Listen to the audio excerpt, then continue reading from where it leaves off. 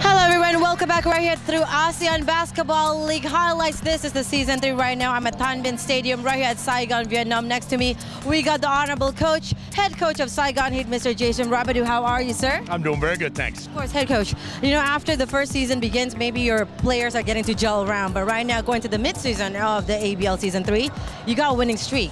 What made the changes? Well, I think we've stabilized a little bit, which has helped um, with our imports uh, and with our Filipino players. And, uh, you know, we've really just kind of focused on what we can do. And that's, you know, if we defend and rebound and limit our mistakes, we have a chance. You know, obviously, basketball in Vietnam right now is, uh, you know, it's a first time thing. And this is a monumental thing for this country, even to have a professional basketball team. And so our margin of error is very, very small compared to the other teams in this league.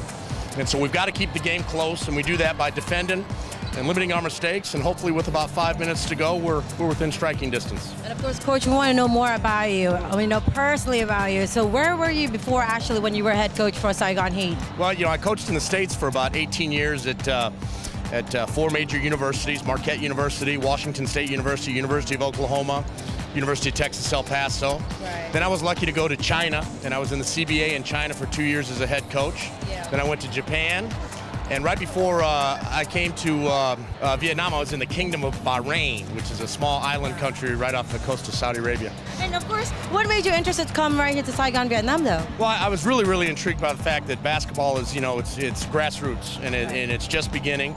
And I think there's nowhere to go but up. And I think you'll see tonight, this might be your first time here to Saigon. We've got unbelievable passion with our fans and our attendance. And um, so it's really kind of exciting. You know, you're talking about a city of about almost eight or nine million people. We're the only professional sports franchise in town.